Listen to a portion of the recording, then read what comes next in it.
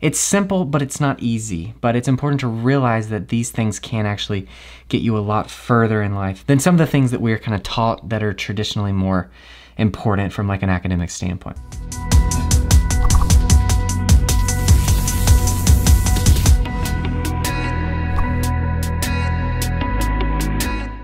So I've been through the process of applying to college, to medical school, to a medical residency, and to a fellowship. It's taken me this long to kind of figure out what programs actually want in an applicant. I'm gonna give you five of those things in this video. Let's go. What's up guys, welcome back to the channel. I'm Zach with Dr. Eyeball MD. I'm a third year ophthalmology resident about to graduate and start an oculoplastics fellowship. So if you're interested in any of that stuff, go ahead, subscribe to the channel down below.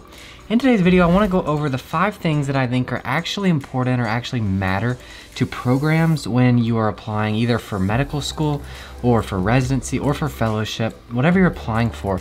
These are some of the things that actually matter to the program because they actually translate into kind of being practical things that are meaningful in a day-to-day -day setting. And so it's not the typical things that you're told to kind of gear your application towards. It's different than that. So these are the five things. I'm gonna list them here if you wanna skip ahead. I'm gonna talk about each one briefly and why I think it's important. It's important to note that there's nothing crazy in this list. There's nothing way out of the box here. There's no, you know, really in-depth life hacks or anything like that. These things are simple. They're not easy to implement, but they are simple, and those things are different. So the things that we traditionally think about medical schools, residencies, fellowships really actually caring about are things like our grades, how we do on standardized testing, our research, our volunteer activities, our extracurriculars, that kind of thing. And those are important. Those form kind of the base layer in a way. So you want to be solid in those areas, but I wouldn't just rely on those. There's things that will actually set you apart. There's five that I've come up with that will really actually be more meaningful to a program if you can convey that you have these things. So the first one is that you're hardworking, and as some of this comes through in those things, like doing well on testing means that you have to work hard or at least be intelligent to do well on standardized testing doing well on your clinical exams or your clinical rotations.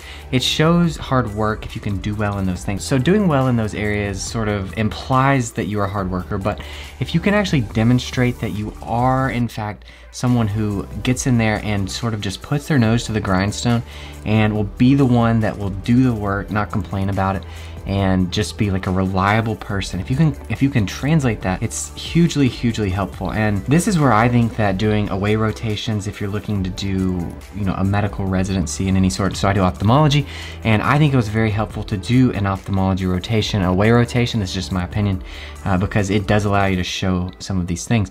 And one of those is that you're hardworking, so you can actually get your hands in there, get dirty, and be the one that's doing some of the work and kind of sticking it out for those long hours, not complaining, and just showing that you're willing to work hard. If you can show that to a program, it's gonna be a huge plus. It's gonna put you above a lot of people. Now, if you're applying to something like medical school or you don't have a chance to do an away rotation or something like that, then you can do this, you can work this way in your home rotations or in, if you're looking to apply to medical school, you can do it when you go volunteer somewhere. And then if that person writes you a letter, they can speak to your work ethic and how hard of a worker you are. So don't underestimate the value of being a hard worker. That's one of the most important things and that's something that the programs actually care about they want to know that you are that the second thing to try to convey to programs medical school residency fellowship whatever is that you are a teachable applicant there is a difference between being very good and intelligent and being teachable. I think it was michael jordan's coach who actually said he was one of the most coachable players that he ever coached.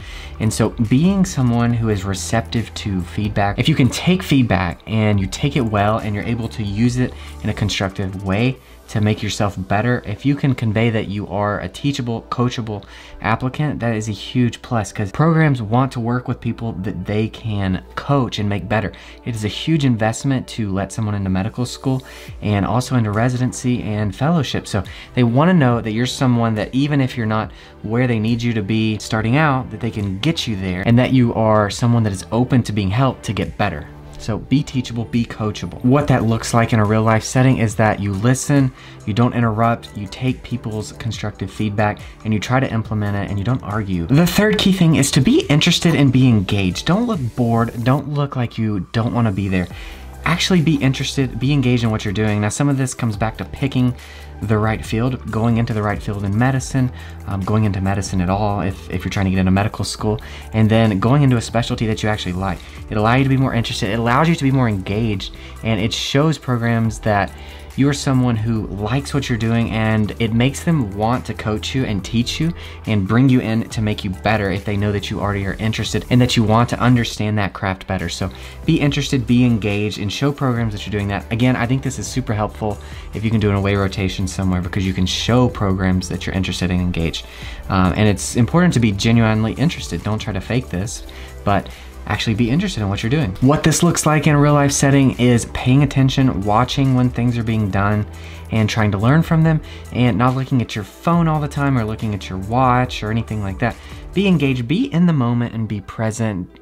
Act like this is the place you want to be and like you don't want to be anywhere else even if you're just shadowing or something and you aren't really you know being involved a lot by whoever you're shadowing or volunteering with be engaged be present and in the moment. Programs want people that are interested and want to learn. That dovetails into the fourth point, which is you need to show programs that you're someone who wants to improve. You don't need to come in thinking that you're the best at something already or that you don't have anything that can be taught to you.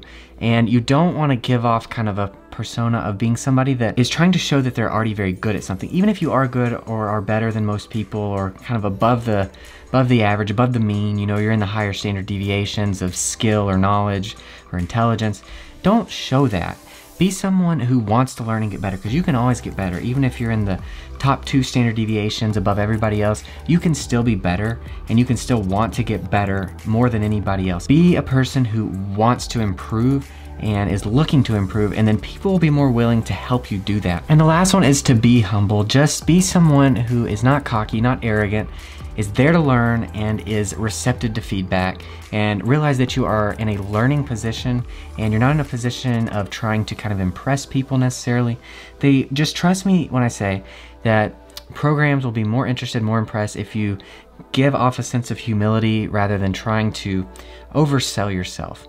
If a program, whether it be medical school, residency, a fellowship, whatever, if they can see you as someone that's gonna show up, be hardworking, reliable, that's easy to teach, easy to coach, wants to learn, is interested, and has a sense of humility, isn't cocky or arrogant, guarantee that you will get to the next level. You'll get to where you wanna go because that's just a person that everybody wants to work with. Obviously the grades, the research, that stuff's important, but this is the stuff that actually matters, actually translates into real world, practical, important things that allow you to be a better doctor, allow you to help patients better, allow you to work more effectively with team members and part of a team. It'll just let you be a better person, employee, and trainee. So Embody those things. If you're lacking in some areas, work on them and you'll be a hot commodity for programs, I guarantee it. It's simple, but it's not easy. But it's important to realize that these things can actually get you a lot further in life than some of the things that we're kind of taught that are traditionally more important from like an academic standpoint. I hope that helps. If it does, leave a like on the video,